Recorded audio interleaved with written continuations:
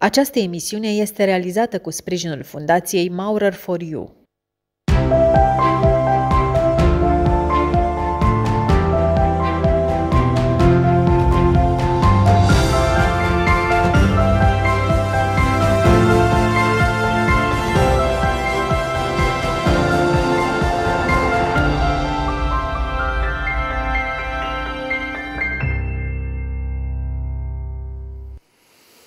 Doamnelor și domnilor, bine v-am găsit la proiectul Restart pentru o lume mai bună. Sunt Cornel Dărvășan, gazda dumneavoastră.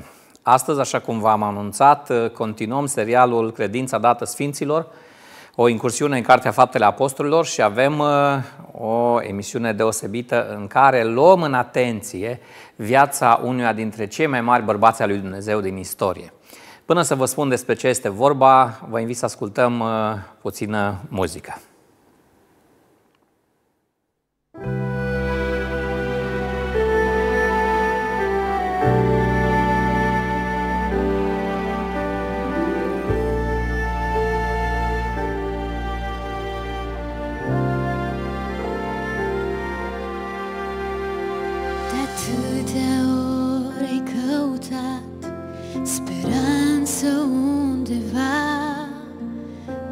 De atâtea ori te-ai întrebat unde-i dragostea? Dar sunt aici să-ți spun că există cineva. Nu mai căuta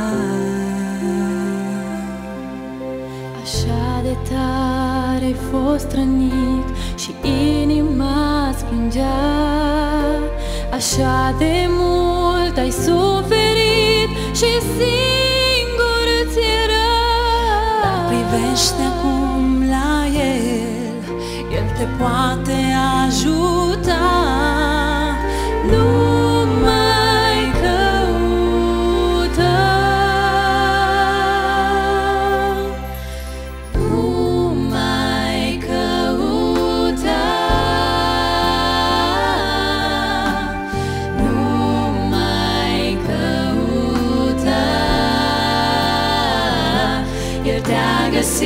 și îți arată acum ce e dragostea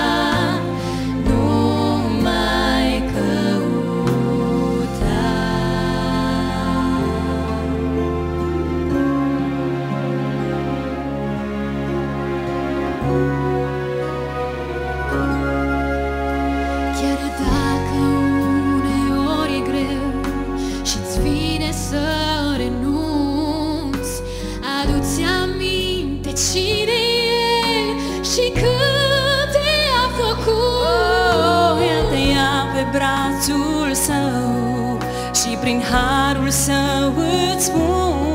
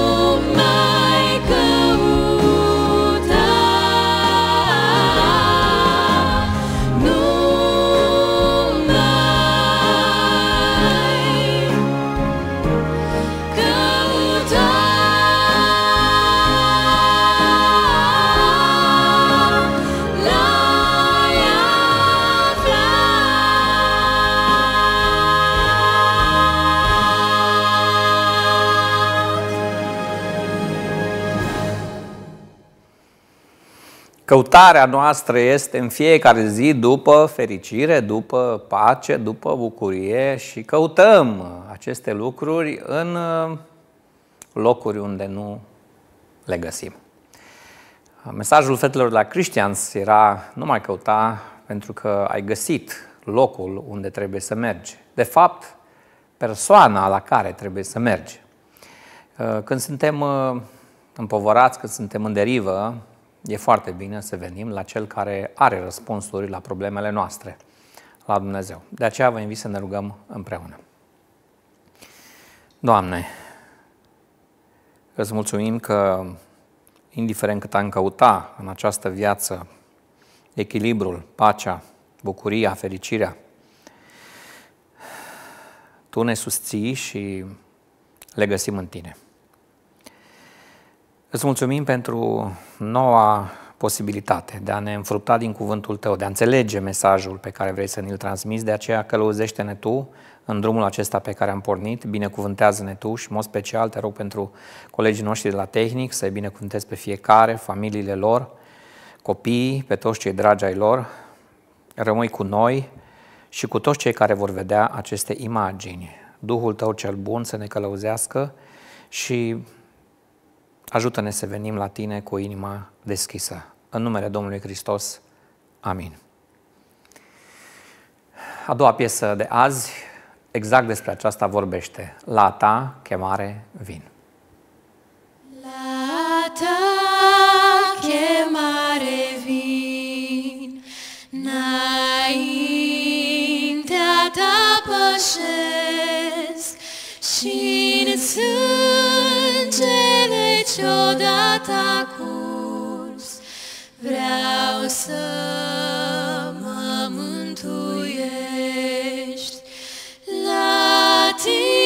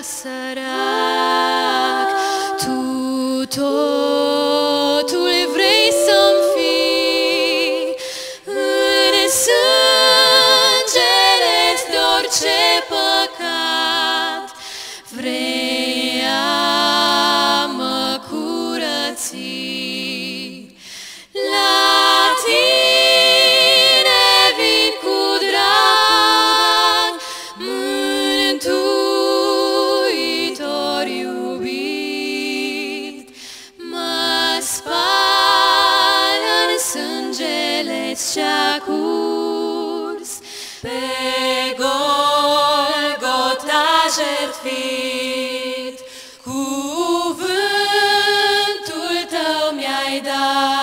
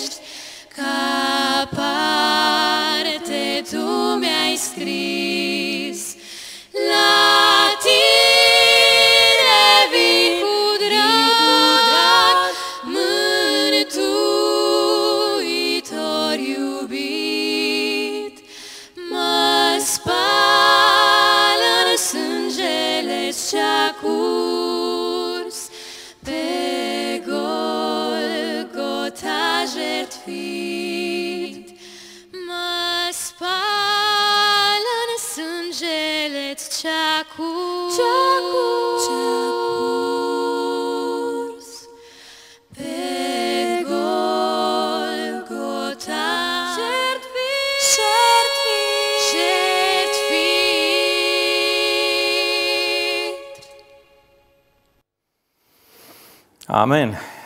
Este rugăciunea pe care o avem și noi în această după-amiază, când uh, mesajul meu poartă titlul Lungul drum al nopții către zi. Vi s-a întâmplat vreodată să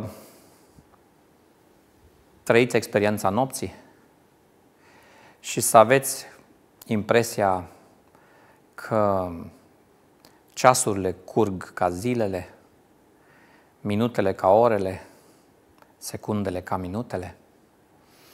Și să aveți impresia că nu mai ajungeți la liman și că totul este întuneric, pustiu și gol, iar uh, dimineața nu mai răsare?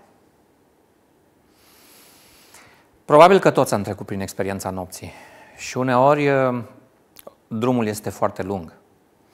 Suntem într-o societate tot mai bombardată cu probleme psihologice, psihiatrice. Depresiile se pot instala, problemele nerezolvate. Uneori nu le reușim uh, salvarea decât după eforturi îndelungi, ore întregi de discuții cu oameni specializați. Nu știu dacă ești unul dintre aceștia care trăiești noaptea.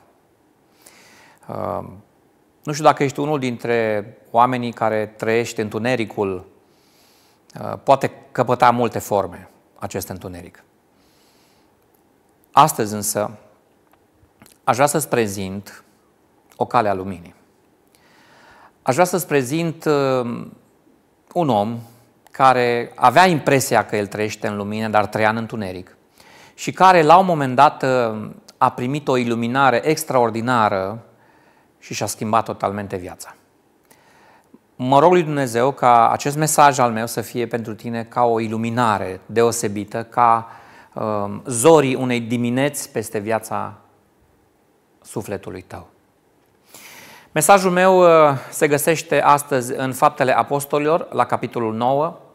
Uh, continuăm drumul nostru întrețesat cu uh, întrebări, cu răspunsuri, cu istorie din Cartea Faptele Apostolilor și facem cunoștință mai îndeaproape cu un tânăr care a fost martor la moartea lui Ștefan. Cei dintre noastre care n-ați văzut ultimele prezentări, respectiv când toți lovesc în tine și mai mult decât un demnitar, vă invit să le vedeți și să rămâneți împreună cu noi și la uh, mesajul acesta. Așadar, citim împreună de la Faptele Apostolilor, capitolul 9, versetul 1 la 9.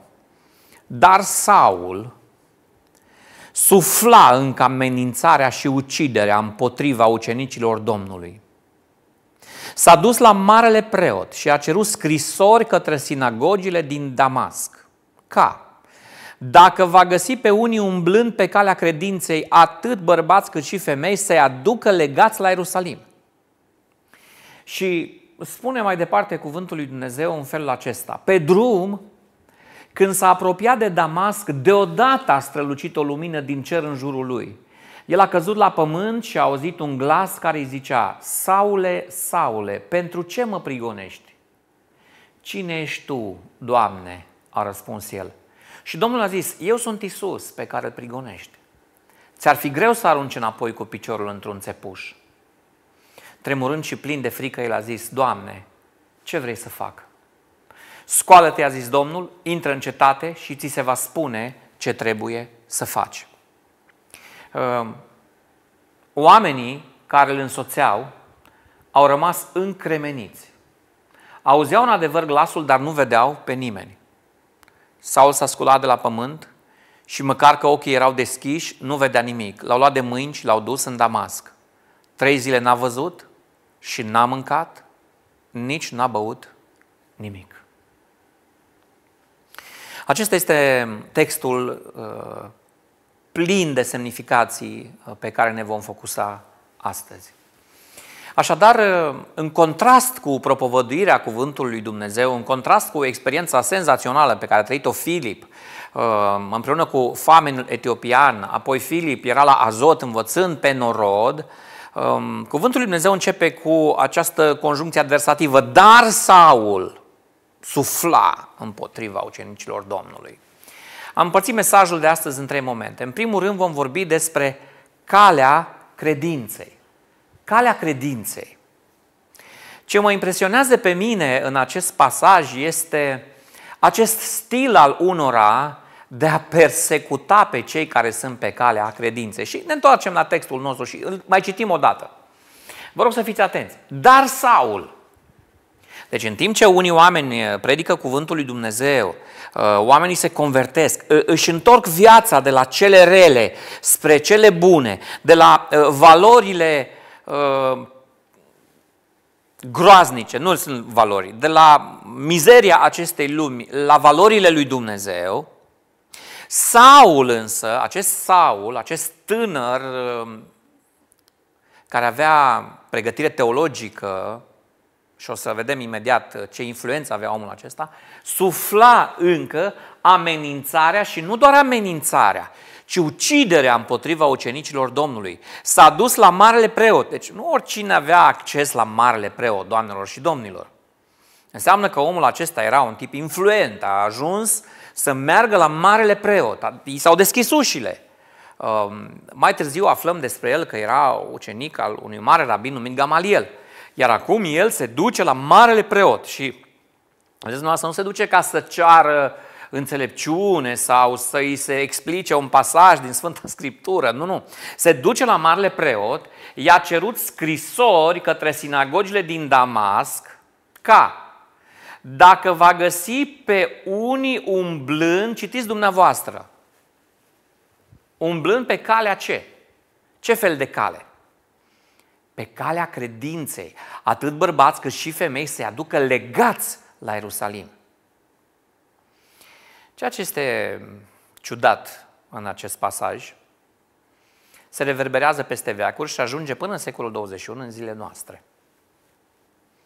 Omul acesta, numit Saul din Tars, cu o influență mare în societate, se duce la marele preot să-i dea niște delegații, scrisori, pentru toate sinagogile din Ierusalim. Nu eram într-o vreme în care erau telefoane mobile sau telefoane fixe să sune marele preot la Damasc. Bă, vedeți că vine acolo unul numit Saul din Tars. Nu, erau niște scrisori care trebuiau aduse. Eu am puterea aici ca să uh, stârpesc această sectă a creștinilor și să aduc uh, legați la Ierusalim. Îi legăm și ducem la Ierusalim pe toți urmașii lui Isus.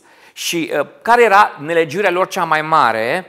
Era că oamenii aceștia, priviți vă rog, dacă va găsi pe unii umblând pe calea credinței, pe calea credinței. Rețineți, vă rog, un aspect important. Oamenii pe care Saul din Tars îi doia legați nu erau oameni pe calea prostituției. Nu erau oameni pe calea alcoolismului. Pentru că, vedeți dumneavoastră, chestiile astea nu creează o așa revoltă. Dacă un om e bețiv, te uiți la el așa, cum zicea Baia Zid, șoptindu-ți în barbă, asta e. Nu s-a educat bine, a căzut în patima alcoolului. Dacă vezi o tânără pe centură care uh, vrea să facă și ea niște bani, te uiți așa compătimitor și zici, domnule, săraca, e în necazuri și ea crede că numai așa își poate câștiga pâine în mod cinstit.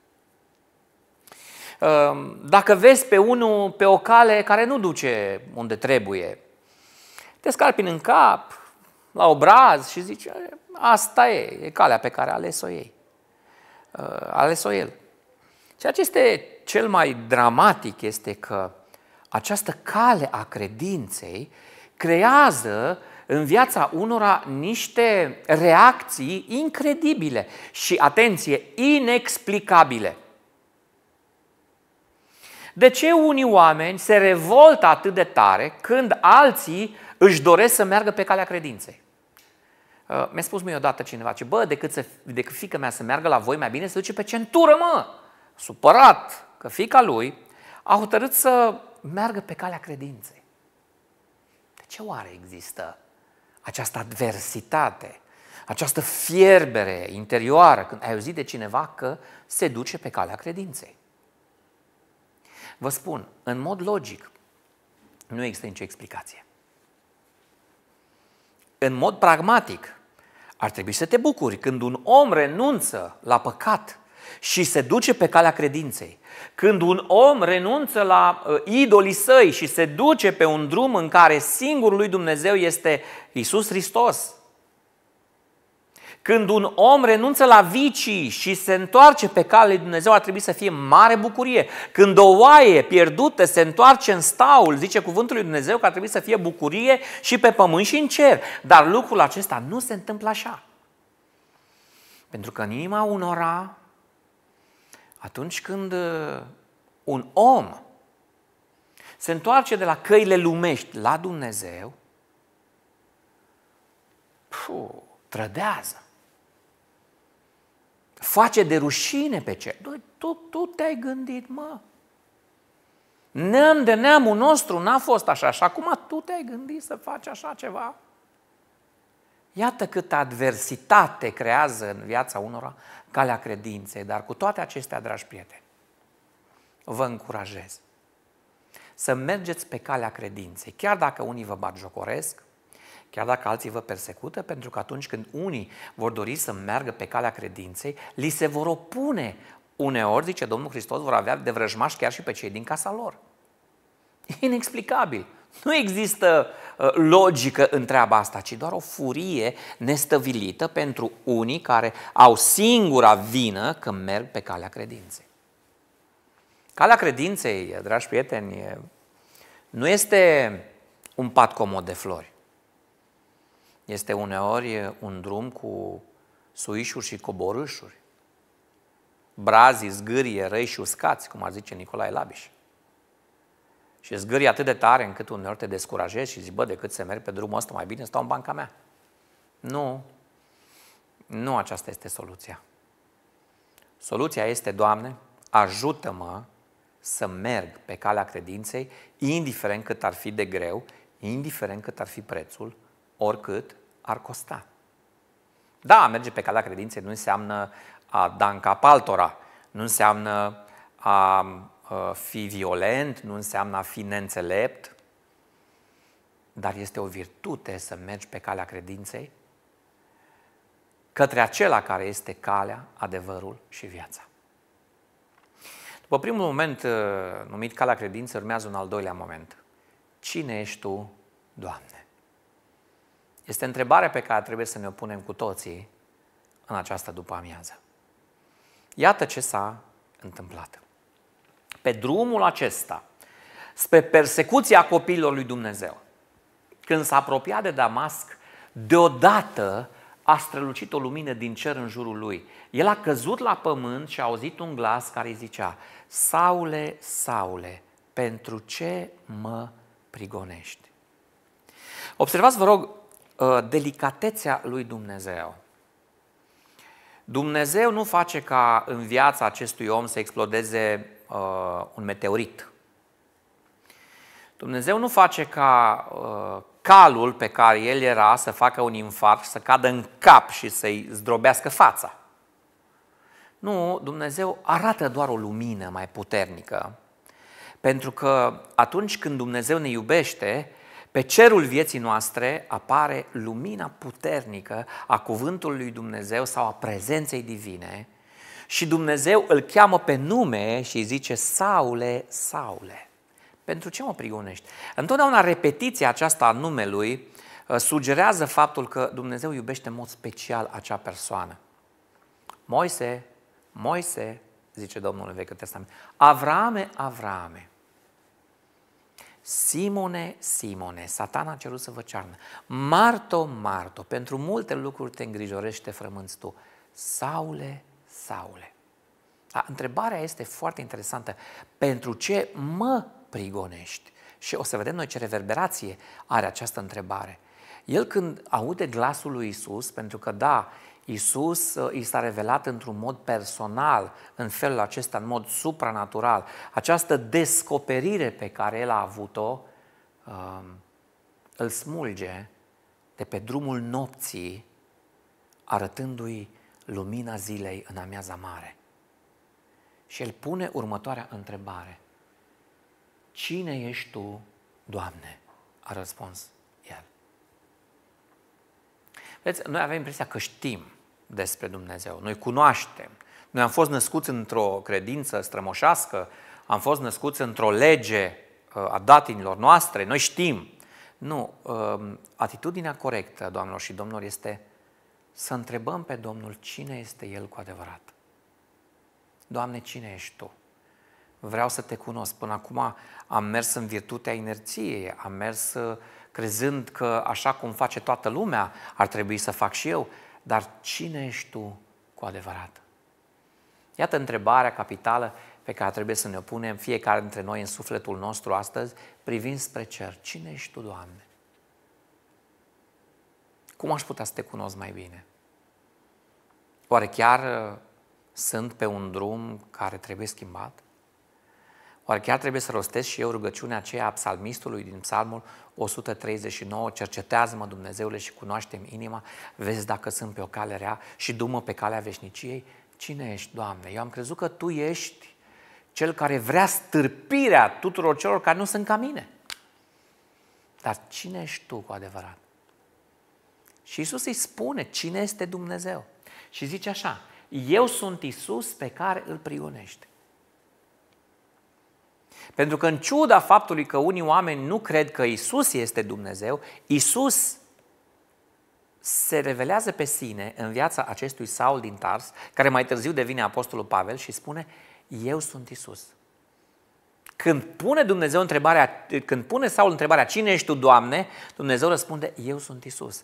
Pentru că așa cum la un moment dat unul dintre ucenici i-a spus Domnului Isus, Doamne, arată-ne pe Tatăl, pe Dumnezeu și ne va fi de ajuns. Dar Mântuitorul zice, cine m-a văzut pe mine, a văzut pe Tatăl.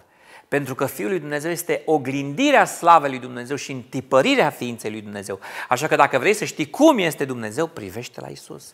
Eu sunt Isus pe care tu îl prigonești. Și nu știu de ce, tu lupți împotriva cugetului tău. Ți-ar fi greu să arunci înapoi cu piciorul într-un țepuș. Domnul ia o imagine foarte interesantă din viața animalelor. Un țepuș este acel băț uh, ascuțit care îl corijează uh, pe taurul care vrea să meargă în stânga sau în dreapta, să meargă înainte, sau pe măgărușul care se încăpăținează și nu vrea să mai plece, pleacă mai departe. Nimeni nu dă cu piciorul în țepuș pentru că știe că îl doare. Și totuși, uneori, omul alege să lupte împotriva țepușului care poate să fie Duhul Sfânt în conștiința lui. Știe ce este bine, vede ce este bine și totuși împotriva acestui lucru luptă. De ce să dăm cu piciorul într-un țepuș? De ce să nu ascultăm șoaptele Duhului Sfânt care ne spun îndreaptă viața? Fii un om nobil. Fii un om manierat. Fii un om care iubește pe Dumnezeu. Treci pe altă planetă, ai putea să zici. Nu, nu, trăiesc într-o lume reală. Într-o lume reală, într-o România a anului 2023 în care știu toate tendințele și toate căutările, dar aleg cu inima mea și cu sufletul meu să mă supun Duhului lui Dumnezeu care mă duce într-o anumită direcție. Asta este dorința sufletului meu. Este și dorința sufletului tău? Că nu vreau să mă împotrivesc, pentru că este dureros să lupți împotriva cugetului tău și împotriva conștiinței. Ți-ar fi greu să dai înapoi cu piciorul într-un țepuș. Dar ta vreme ai dat.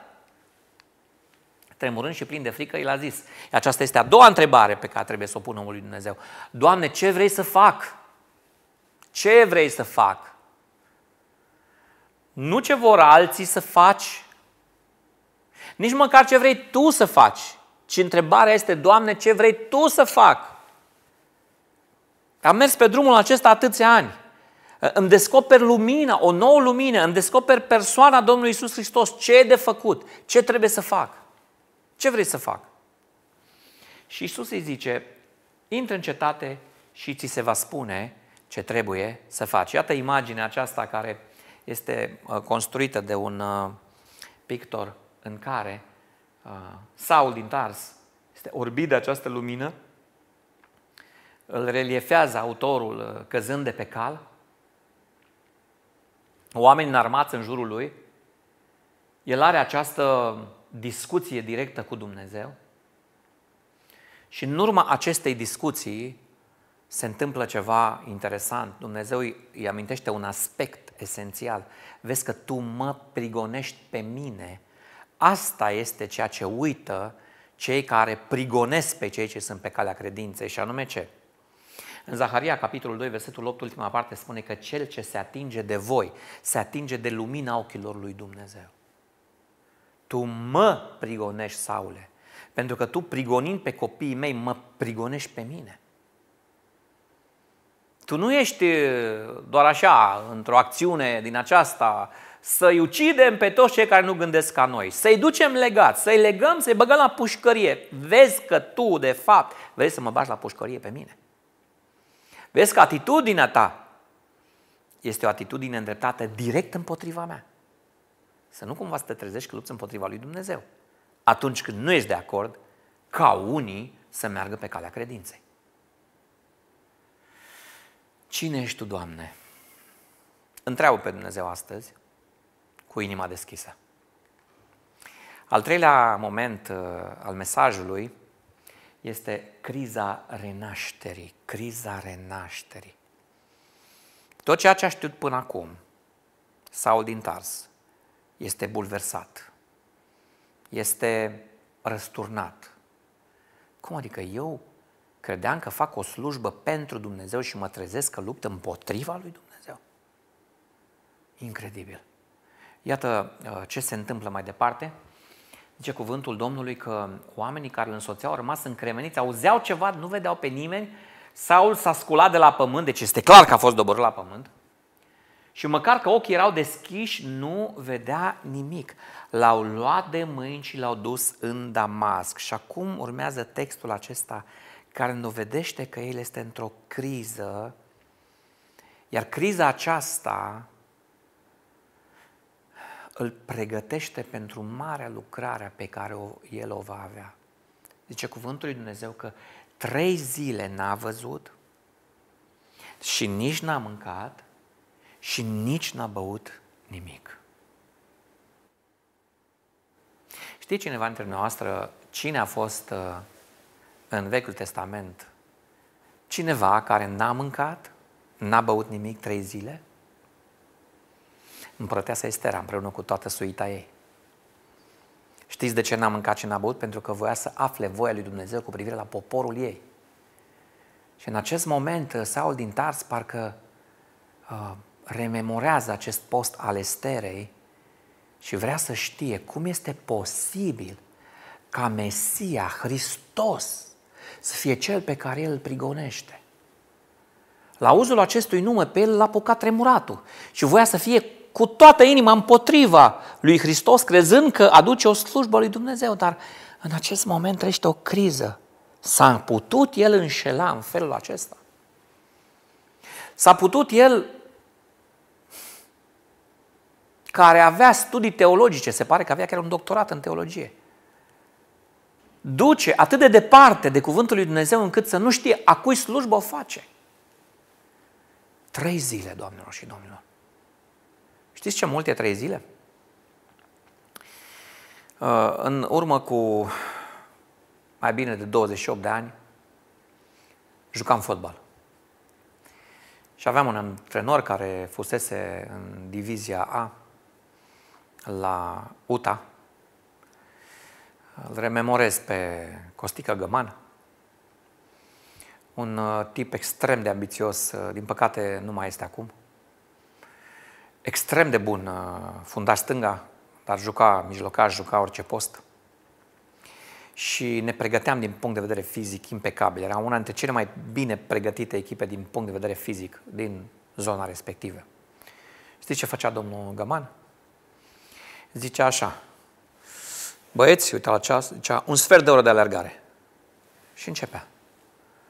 Avea vreo 38 de ani, noi puștani de 18, 19, 20 de ani, nu ne țineam de el. Efectiv, nu ne țineam. Un sfert de oră de alergare. Știți cât este un sfert de oră de alergare? Imens. Și mai zicea, alergare ca la 400 după 5 minute de încălzire. Alergarea ca la 400. Alergarea ca la 400 însemna să alergi ca la 400 de metri, adică nu chiar sprint cât poți, dar destul de susținut. Și la un moment dat ajungeai într-un punct mort, așa se numea, încât îți venea să uh, dai plămânii afară. Și dacă reușeai să depășești acel punct mort, nu mai aveai probleme. Fugeai fără nicio problemă. Dar ce vreau să spun că acel, cinci, acel sfert de oră era imens. Nu se mai termina odată. Când zicea revenire, era după un sfert de oră, uh, umblam fiecare, scoteam limba de un cot pe oriunde puteam și atunci am, mi-am dat seama de relativizarea aceasta a timpului. Uneori un sfert de oră pare enorm, alteori un sfert de oră petrecut cu persoana iubită pare două secunde. dar trei zile și trei nopți. Este un timp enorm în care tu îți evaluezi viața. Vezi tot ce ai făcut până acum la momentul acesta. Dragul meu, ești într-o criză în viața ta, ești în întuneric, nu găsești drumul de a ieși spre lumină, spre liman, încearcă câteva ore de post și rugăciune. Încearcă o zi de post, iar dacă stai bine cu sănătatea, cu stomacul și cu organismul, trei zile. Anul acesta am avut trei zile de post și nu am pățit nimic. Da, după prima zi încep să amețești puțin, dar dacă ești cu voința ta focusată pentru a căuta fața lui Dumnezeu, pentru a afla uh, voia lui Dumnezeu, această criză a renașterii te poate duce la rezultate extraordinare. O geană de lumină care să apară în viața ta, apoi soarele pe cer, apoi un nou sens al direcției tale de mers. Poate uneori ai nevoie de această adâncire în uh, rugăciune, în post. Să vă citesc ce spune Apostolul Pavel referitor la această experiență și la, la atitudinea lui din momentul acela. Și um, această experiență este descrisă pe scurt în epistola uh, sa, a Apostolului Pavel de mai târziu, către Galateni. Și citiți, vă rog, împreună cu mine. Fraților, vă mărturisesc că Evanghelia propovăduită de mine nu este de o bârșie omenească, pentru că n-am primit-o, nici n-am învățat-o de la vreun om, ci prin descoperirea lui Isus Hristos. Ați auzit în adevăr care era purtarea mea de altă dată în religia iudeilor. Cum adică prigoneam peste măsură de mult Biserica lui Dumnezeu și făceam prăpăd în ea și cum eram mai înaintat în religia iudeilor decât mulți din neamul meu de o vârstă cu mine. Și auziți acum care era uh, stilul lui. Seamănă cu stilul multora dintre noi. Eram însuflețit de o râvnă nespus de mare. Pentru ce? Pentru ce? Pentru, nu pentru cuvântul lui Dumnezeu, ci pentru datinile strămoșești. Și auziți ce mai spune mai departe? Dar când Dumnezeu care m-a pus deoparte din pântecele Maicii mele și m-a chemat prin harul său, a găsit cu cale să descopere în mine pe fiul său ca să-l vestesc între neamuri, îndată am întrebat pe toată lumea uh, spunând, băi, ce părere aveți? Să mă schimb? Să o iau pe altă cale? Așa scrie. Nu, pe noi ne interesează gura lumii. Atunci când e vorba să schimbăm macazul, atunci când e vorba să ne aruncăm în brațele lui Isus, când e vorba să luăm în serios cu Dumnezeu pe calea credinței și nu pe calea datinilor strămoșești. Dar ascultați-vă ce spune Apostolul Pavel, ce îndată n-am întrebat pe niciun om. Pe niciun om. Ce părere aveți voi? Ar trebui să facă această schimbare? Nu! N-am întrebat pe niciun om, nici nu m-am suit la Ierusalim la cei care au fost apostoli înainte de mine. M-am dus în Arabia, apoi m-am întors din nou la Damasc.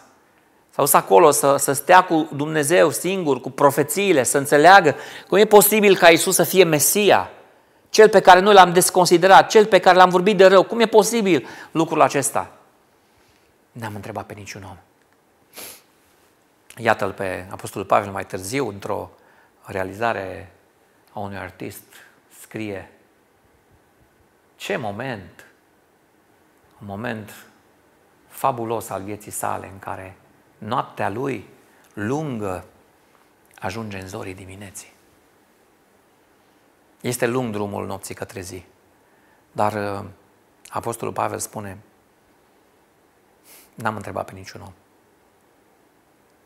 Nu întreba pe oameni ce trebuie să faci tu,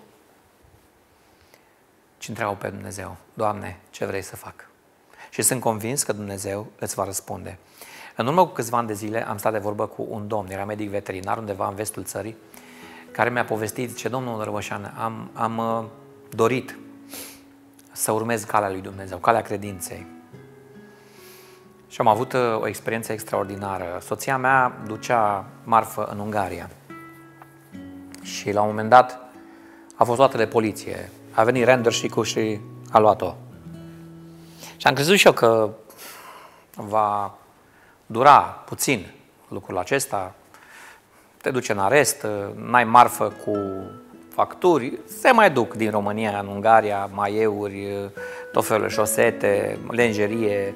Oamenii duc acolo la piață, vând de forinți, cu forinții aceiași cumpără niște mâncare, vin acasă. Era practica asta, ce soția mea a stat o săptămână, n-a, n-a, n-a putut să plece. Și apoi a stat încă o săptămână, și apoi încă o săptămână și după o lună de zile am început și eu să dau telefoane. Uh, vă rog, ajutați-mă pe soția mea. Uh, am ajuns la primar, am ajuns la cineva de sus, a sunat, domnule, ce faceți? Că n-a omorât pe nimeni femeia. Domnul Răvășan, fetița mă întreba, unde e mama, unde e mama? Și am zis, uite, facem eforturi să o ducem pe mama acasă. Și vă spun ceva, în momentul în care am, am, am găsit toate posibilitățile, am mirosit toate posibilitățile, m-am uitat în cer și am zis, Doamne, numai Tu poți să mi-o salvezi pe soția mea să o duci acasă. Dar dacă Tu mă duci acasă, eu mă pocăiesc. Mă întorc la Tine cu toată inima. Domnul Roșan zice, de la rugăciunea aceea disperată, în două săptămâni soția mea a fost acasă. Credeți că m-am pocăit? Nu m-am pocăit, domnule Roșan. Nu știu dacă trăiești o noapte a sufletului tău și ai făcut tot felul de eforturi ca să ieși din această noapte, însă prin acest cuvânt al lui Dumnezeu și prin lumina care vine din el, Domnul îți spune, Saule, Saule, pentru ce mă prigonești? Pune întrebarea, cine ești Tu, Doamne? Pune întrebarea, Doamne, vrei să merg pe un drum nou împreună cu Tine? Da, poate te-ai născut uh, uh, într-un context în care erai plin de râvnă pentru datinile strămoșești. Nu întreba pe niciun om. Întreabă pe Dumnezeu, Doamne, cum vrei să fac? Ce vrei să fac? Ai vrea Tu, Doamne, să rămâi cu mine? Pentru ca seara lumii, când va veni din nou, să mă găsească în brațele Tale? Spune poetul Benone Burtescu, Doamne, mai e puțin până în seara lumii și n-am făcut nimic pentru Tine. Zorii dimineții s-au arătat prin acest cuvânt al lui Dumnezeu în viața ta. Și Dumnezeu să spune, uite, poate e momentul să pui punctul în vieți de păcat și să iei de la capăt. Poate ai crezut că faci o slujbă lui Dumnezeu persecutând pe cei care sunt pe calea credinței. Nu e slujba lui Dumnezeu asta. Slujba pentru Dumnezeu este să te întrebi, cine ești Tu, Doamne? Și să spui, Doamne, ce vrei să fac? Și împreună cu mine te rog să te rogi la următoarea piesă și să spui, Doamne, nu vreau să pleci de la mine.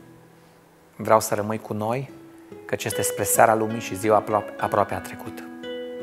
Vreau să rămâi cu mine, Doamne, pentru că după ziua de azi urmează din nou seara. Și dacă vine seara lumii cu problemele ei, cu încleștările ei, cu încălcitele ei înfățișări de josnicie ale globaliștilor care ne chinuie și ne vor chinui din ce în ce mai tare. Dacă nu ești cu El în inimă, dacă nu ești cu Dumnezeu în suflet, nu va fi bine. Doamne, ajută-mă să fiu pe calea credinței și rămâi cu noi, cu fiecare dintre noi. Te rog să te rogi împreună cu mine, acum la final, când vei auzi o piesă pe care bunicul meu uh, am învățat-o cu corul Bisericii Copilăriei mele și de unde am cules versurile și melodia și vreau să ți le ofer ca o rugăciune în după amiaza aceasta. s-a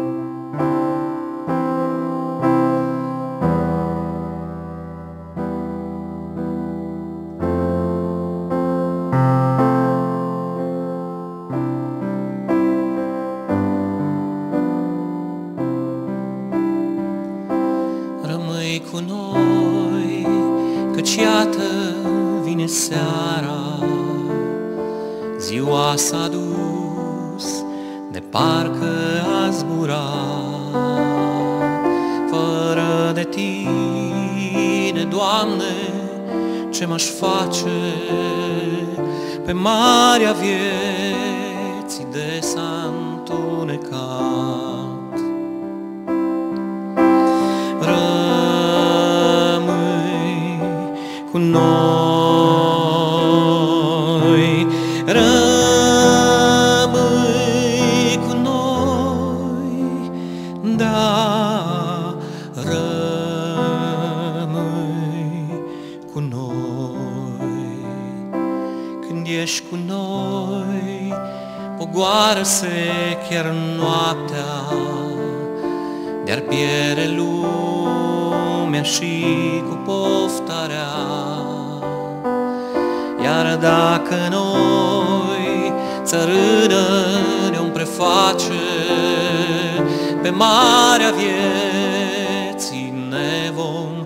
revedea.